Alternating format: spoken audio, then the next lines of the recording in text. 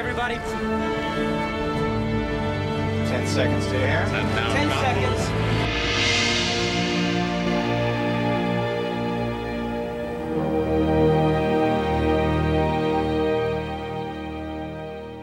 You know what I was thinking about earlier today? 60 years, oh, pretty much 60 years since this opened on Broadway.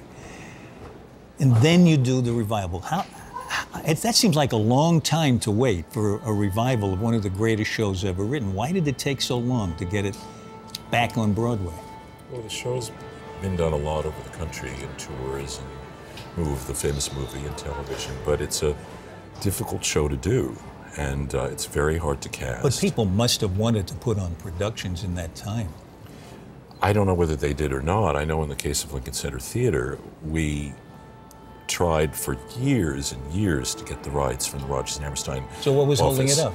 Well, they didn't want to give it out in New York, or people thought, oh, the show's dated or difficult or whatever. And finally, I had just given up. It's my favorite show in the world, and I had given up. And I thought, that's over, it's it.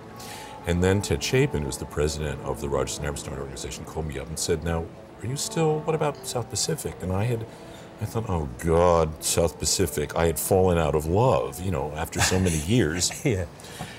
But then he said, if you can figure out a way to do it, then Lincoln Center Theater can have the rights. Because a lot of people had wanted the rights. And I went home and I thought, because of the light in the piazza and my knowledge of him, Bartlett Sher, and telling it as a play with As music. As a play, as a play. That's As the play, thing. This is a play. Yeah, it was a Pulitzer Prize winning drama. And so when I read the script, he gave me the script. I started with the script. I didn't start with the You- movie. I had you ever anything. seen any production of this? I hadn't.